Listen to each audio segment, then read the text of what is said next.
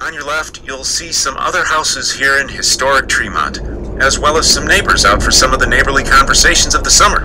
Hi, folks. Truly, it's that sense of community that makes Tremont one of the jewels of the west side that it is.